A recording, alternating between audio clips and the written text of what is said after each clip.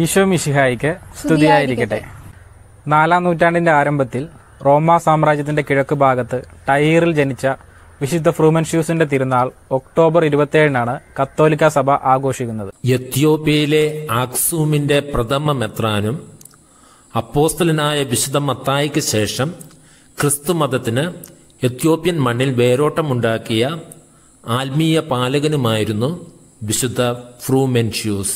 ഫിനീഷ്യയിലെ ടൈറിൽ നിന്നും ക്രൈസ്തവ തത്വചിന്തകനായ ഫ്രൂമൻഷ്യൂസിന്റെ അമ്മാവൻ ബാലനായിരുന്ന ഫ്രൂമൻഷ്യൂസിനെയും സഹോദരൻ എഡേസിയൂസിനെയും കൂട്ടിക്കൊണ്ട് എത്യോപ്യയിലേക്ക് ഒരു സമുദ്രയാത്ര നടത്തുകയുണ്ടായി. എത്യോപ്യയുടെ തീരത്ത് കപ്പൽ നങ്കൂരമിട്ടയുടനെ ആ പ്രദേശത്ത് വസിച്ചിരുന്ന തദ്ദേശീയരായ കാട്ടാളന്മാർ ബാലന്മാരായിരുന്ന ഫ്രൂമൻഷ്യൂസിനെയും സഹോദരനെയും ഒഴികെ കപ്പലിലുണ്ടായിരുന്ന സഹലരെയും വാളിനിരയാക്കി. ചുറുചുറുക്കും ഓമനത്വവുമുള്ള രണ്ട് ബാലന്മാരെയും അവർ രാജാവിന്റെ മുമ്പിൽ ഹാജരാക്കുകയുണ്ടായി. കുട്ടികളുടെ ബുദ്ധിസാമർഥ്യത്തിലും നിഷ്കളങ്കതയിലും ആകർഷണം തോന്നിയ രാജാവ് രണ്ട് കുട്ടികളെയും കൊട്ടാരത്തിൽ നിർത്തി പ്രത്യേക ശ്രദ്ധ നൽകി പഠിപ്പിച്ചു. വളർന്ന് യുവാക്കളായപ്പോൾ എഡേസിയൂസിനെ രാജാവിന് ഭക്ഷണപാനീയങ്ങൾ വിളമ്പുന്നവനായും മൂത്തവനായ ഫ്രിമൻഷ്യൂസിനെ രാജ്യത്തിന്റെ ധനമന്ത്രിയായും രാജസേവകരുടെ മേൽനോട്ടക്കാരനായും നിയമിച്ചു. രാജാവ് മരണക്കിടക്കയിൽ വെച്ച് തന്നോടും രാജ്യത്തോടും വിശ്വസ്തത പുലർത്തിയ രണ്ടുപേർക്കും പ്രത്യേകം നന്ദി പറഞ്ഞു. പ്രതിനന്ദിയായി അവരെ രണ്ടുപേരെയും പൂർണമായും സ്വതന്ത്രരാക്കി. രാജാവിന്റെ മരണശേഷം രാജ്ഞി രണ്ടുപേരോടും രാജ്യം വിട്ടുപോകരുതെന്നും രാജകുമാരൻ ഭരണമേറ്റെടുക്കാൻ പക്വതയാർജിക്കുന്നതുവരെ തന്നെ ഭരണത്തിൽ സഹായിക്കണമെന്നും അഭ്യർത്ഥിച്ചു. രാജ്ഞിയുടെ അഭ്യർത്ഥന മാനിച്ച് രണ്ടുപേരും കൊട്ടാരത്തിൽ തന്നെ തുടർന്നു.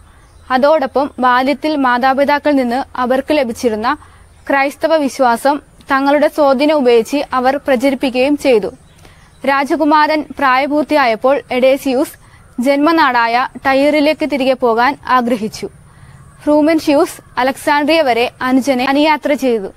അവിടെ വെച്ച് ഫ്രൂമെൻഷ്യൂസ് അലക്സാണ്ട്രിയയിലെ പാത്രിയാക്കിസായിരുന്ന വിശുദ്ധ അത്തനാസിയുസിനെ ചെന്നുകണ്ട് അദ്ദേഹത്തോട് തങ്ങൾ ഇത്രയും നാൾ ജീവിച്ച സ്ഥലത്തേക്ക് ഒരു മെത്രാനെ അയക്കാൻ അഭ്യർത്ഥിക്കുകയുണ്ടായി. ഫ്രൂമൻസിയൂസിന്റെ ആത്മാർത്ഥതയിലും ക്രൈസ്തവ വിശ്വാസത്തിലും മതിപ്പ് തോന്നിയ അത്തനാസിയൂസ് അദ്ദേഹം തന്നെയാണ് മെത്രാനാകാൻ ഉത്തമനെന്ന് കണ്ട് മുന്നൂറ്റി ഇരുപത്തെട്ടിൽ അദ്ദേഹത്തെ എത്യോപ്യയുടെ മെത്രാനായി അഭിഷേകം ചെയ്തു. ആധ്യാത്മിക അധികാരങ്ങളാൽ ശക്തി പ്രാപിച്ച് പ്രഘോഷണം വഴിയും ദൈവം തന്നിലൂടെ പ്രവർത്തിച്ച നിരവധി അത്ഭുതങ്ങൾ വഴിയും നിരവധി ആളുകളെ വിശ്വാസത്തിലേക്ക് ആനയിക്കുന്നതിന് ഫ്രൂമൻഷ്യൂസിന് സാധിച്ചു. പിന്നീട് യുവരാജാവിനോടൊപ്പം എത്യോപ്യൻ നിവാസികൾ മുഴുവൻ ക്രിസ്തുമതത്തെ ആശ്ലേഷിക്കുകയുമുണ്ടായി. കർത്താവ് അരുൾ ചെയ്യുന്നു ഈജിപ്തിന്റെ ധനവും എത്യോപ്യരുടെ കച്ചവടച്ചരക്കും ദീർഘകായരായ സേബായരും നിന്റേതാകും. അവർ നിന്നെ അനുഗമിക്കും. ദൈവം നിന്നോടുകൂടെ മാത്രമാണ്. അവിടുന്നല്ലാതെ മറ്റൊരു ദൈവമില്ല എന്ന് പറഞ്ഞ് അവർ നിന്നോട് യാചിക്കുമെന്ന് എണ്ണൂറ് വർഷം മുമ്പ് ഏഷ്യ പ്രവാചകൻ അരുൾ ചെയ്ത വാക്കുകൾ പൂർത്തീകരിക്കപ്പെടുന്ന അനുഭവമായിരുന്നു ഇത് മെത്രാനായ ഫ്രൂവൻഷ്യൂസിന് സമ്മാനിച്ചത്. മുന്നൂറ്റി എൺപത്തിമൂന്നിൽ ദൈവമാകുന്ന ഏറ്റവും വലിയ അജപാലകൻ അദ്ദേഹത്തെ വിശ്വസ്തതയ്ക്കും കഠിനാധ്വാനത്തിനും പ്രതിഫലം സ്വീകരിക്കാനായി തന്റെ പക്കലേക്ക് വിളിക്കാൻ തിരുമനസ്സാകുന്നതുവരെ വിശുദ്ധ ഫ്രൂമൻസ്യൂസ് തന്റെ അജഗണത്തെ സംരക്ഷിക്കുകയും പരിപോഷിക്കുകയും ചെയ്യുന്ന ജോലി വിശ്വസ്തയോടെ തുടർന്നുകൊണ്ടേയിരുന്നു. വിശുദ്ധ ഫ്രൂമൻഷ്യൂസിന്റെ തിരുനാൾ ദിവസമായ ഒക്ടോബർ ഇരുപത്തിയേഴിനു തന്നെയാണ് ഫ്രൂമൻഷ്യൂസ് മരിച്ച് ഇരുന്നൂറ്റി അൻപത് വർഷങ്ങൾക്കു ശേഷം അഞ്ഞൂറ്റി ഇരുപത്തിമൂന്നിൽ മരിച്ച എത്യോപ്യയുടെ രാജാവായിരുന്ന വിശുദ്ധ എലേസ് ബാന്റെ തിരുനാളും സഭ ആഘോഷിക്കുന്നത്. എത്യോപ്യയുടെ രാജാവായിരുന്ന എലേസ് ബാൻ റോമൻ ചക്രവർത്തിയായിരുന്ന ജസ്റ്റിനൂസിന്റെ ഭരണകാലത്ത് എത്യോപ്യൻ ക്രൈസ്തവ വിശ്വാസത്തെ ഉന്മൂലനം ചെയ്യാൻ ശ്രമിച്ച ശത്രുക്കളെ അമർച്ച ചെയ്യുകയുണ്ടായി.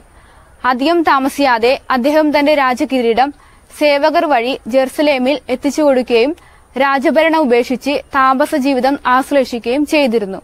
വിശുദ്ധ ഫ്രൂമൻസ്യൂസെ ഞങ്ങൾക്ക് വേണ്ടി പ്രാർത്ഥിക്കണമേ.